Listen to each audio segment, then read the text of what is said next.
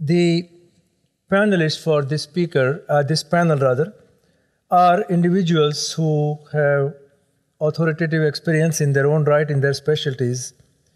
And uh, I, as moderator, have given them the liberty to use their time as they wish. They may reflect upon what you heard during the course of the day today, or they may want to share their wisdom and vision in their specialty into the future, or they may expand upon one or other topic that was discussed during the course of the day. And uh, uh, I will first call upon Professor Tim Brümmendorf, who I believe you want to address on targeted therapies. But this is your time. Eight minutes to the clock. Say whatever you want to say. Thanks very much. I think I have to speed up. Um, I would like, anyway, I would like to thank uh, Professor Knecht very much for the option, opportunity to talk here to you. I was asked to talk about underlying principles and future targets in head and neck cancer. Can I forward the slides myself? Or? And for this purpose, I think it's important to just give you a very brief, although all of you are familiar with targeted therapies, just like to give you a very brief introduction into the topic. Think we all know that more than 30,000 genes are encoded in the human genome. About 6,000 of those genes are actually involved in signal transduction. 20% of all genes are involved in signal transduction. Among those, about 500 are protein kinases, and roughly 130 of those 500 are actually tyrosine kinases. As you all know, kinases uh, uh, catalyze the transfer of phosphate from ATP to amino acid residues in, in polypeptides. We can discriminate between, between the, the, within the uh, protein kinases, uh, between the tyrosine kinases and the, and the serine threonine kinases. The most important ones for head and neck cancer, at least to my opinion, of the serine threonine kinases are the aurora kinases, mTOR, and the polo-like kinases within the tyrosine kinases, I think the most important receptor tyrosine kinase uh, is actually EGF, at least for head and neck, but also PDGF receptor and VEGF receptor is very important. Among the non-receptor kinases, the most sort of prominent ones are ABL and SRC, and for head and neck cancer, of course, of course, SRC is, uh, is very important. Now, uh, if one discriminates between receptor and non-receptor tyrosine kinases, I think the important one, this is just, of course, a selection, um, and the important ones shown here are circled in red, which is uh, for head and neck cancers, EGF, PDGF receptor, and VEGF receptor. All of these receptors share some homology in terms of, of, of structure, but I don't want to go into the details.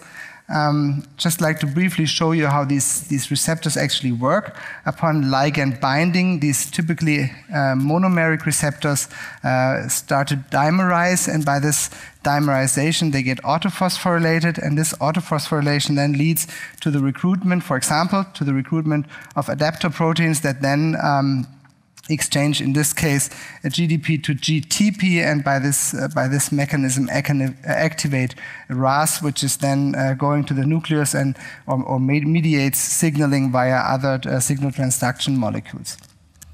Um, no matter whether this is, is mediated via RAS or other pathways, the, the, uh, is a way, or the, the, the, kinase actually mediates a signal into the nucleus, and this signal then uh, propagates either angiogenesis or invasiveness or survival or proliferation of the affected cells and of the stimulated cells. Now, if we look at the non-receptor tyrosine kinases, and those are so far not in the focus of head and neck uh, tumor biology, to my opinion, um, the mechanism is slightly different. These, these uh, non-receptor tyrosine kinases are typically kept in an inactive state, either because of inhibitory proteins or because of intramolecular autoinhibition. And I think the most uh, famous part, uh, candidate for this mechanism is JAK2. Um, and activation in this non-receptor tyrosine kinases typically occurs via dissociation of these inhibitors or uh, via the recruitment of transmembrane receptors or transphosphorylation. And I think the most important candidate of the three that are listed here is SRC. However, the, the, sort of the paradigm for these kind of receptors being useful targets for, for malignoma treatment, I think, is in fact uh, ABL and BCR-ABL. And the important thing to note here, I, don't, I know this is not a hematology talk, it's, a, it's of course not, not on CML primarily, but nevertheless, I think this is really a model disorder because the target here, BCR-ABL, is really required and also sufficient for, for the disease. And this is something that's really special in oncology. I think in head and neck cancer, we still have the problem that we don't have very exclusive targets. All of the targets that are addressed so far are to some degree redundant and not exclusive, and that's important.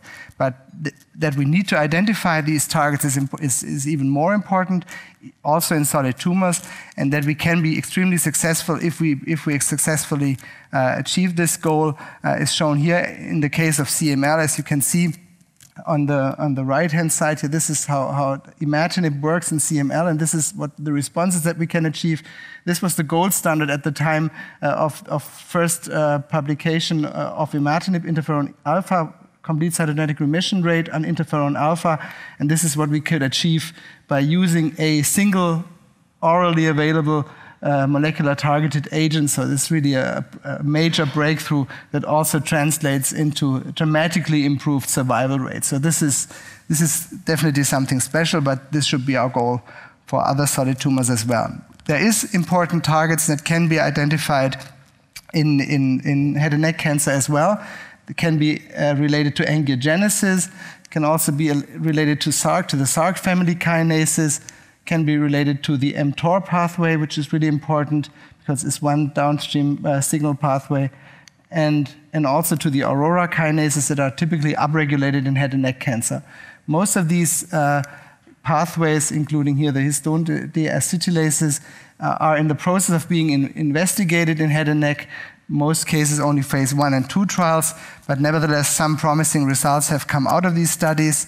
Um, and I think it's really important to continue us on this way. And I gave a very personal uh, sort of preference on one of the studies that have been published, which is a combination uh, of, of bevacizumab and pemetrexed here that showed, uh, to my opinion, extremely uh, impressive response rates, although only in, in, a very low number of patients. Nevertheless, I think that's the way to go, which is why I would like to conclude that there is a number of promising new treat, uh, targeted treatments that are currently being evaluated in head and neck cancer.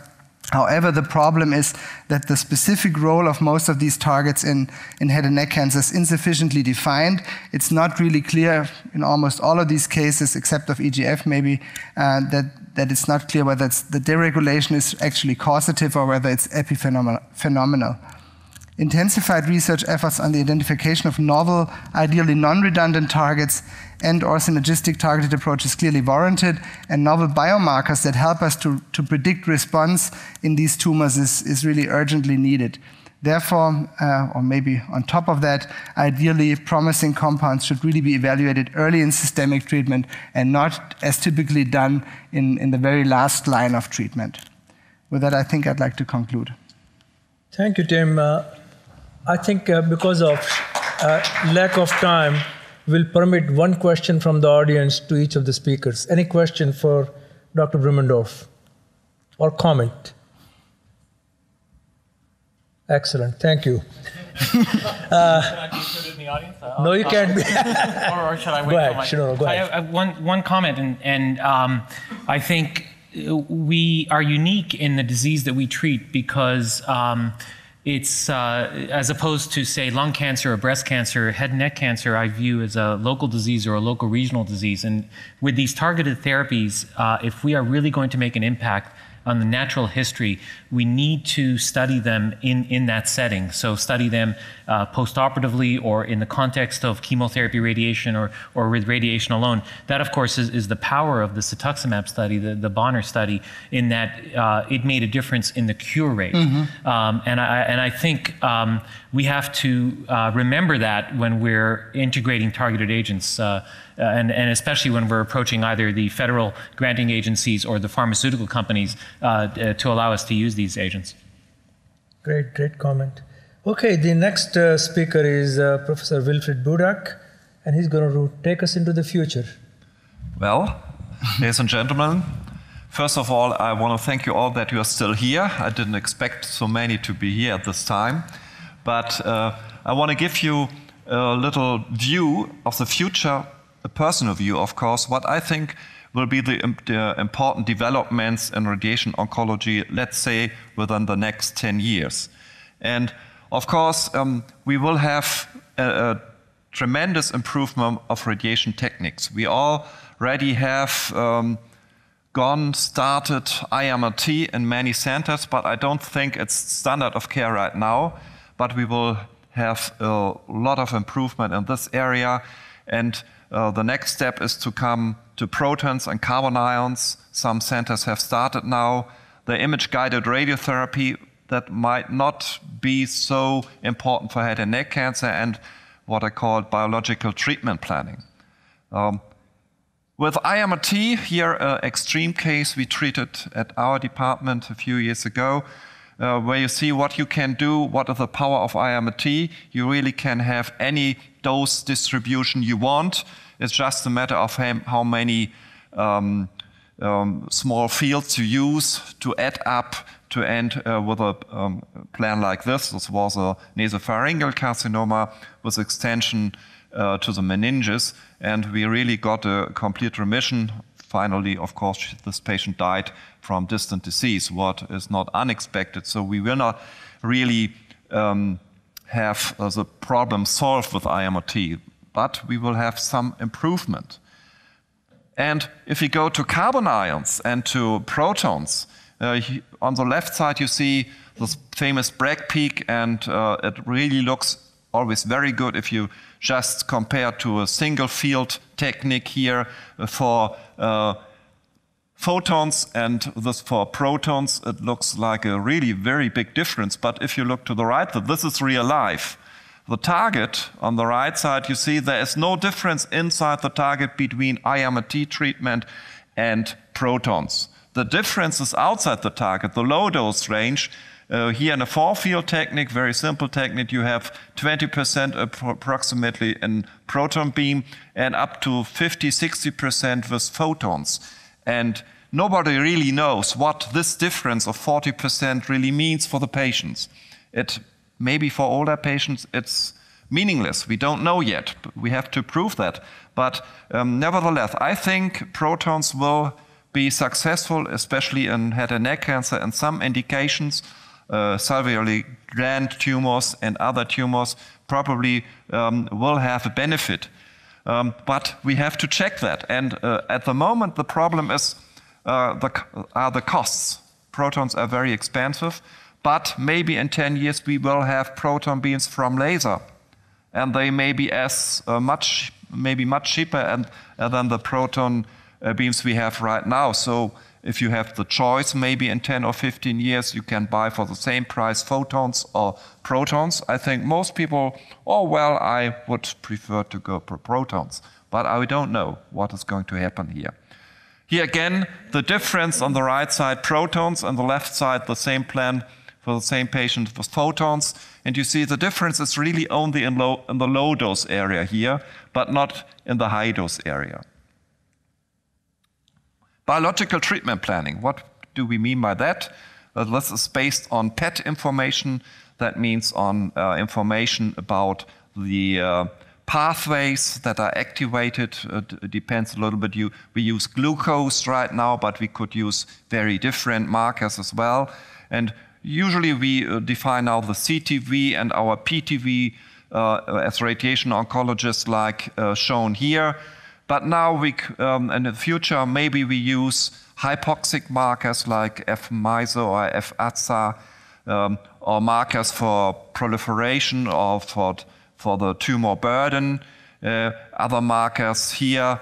Um, and then we get all together and come to a biological target volume uh, that might be completely different, uh, at least in part, uh, for, from uh, the classical target volumes because we have information about the uh, activity um, of different pathways. And this ends with a biological target volume. And with IMRT, of course, we can go to doses like uh, 77 or 40 uh, or 84 gray or even higher. And if you use uh, carbon ions, you could even go to 100 gray or something like that in, in small areas of the tumor. And then everything what lives on DNA basis will be dead.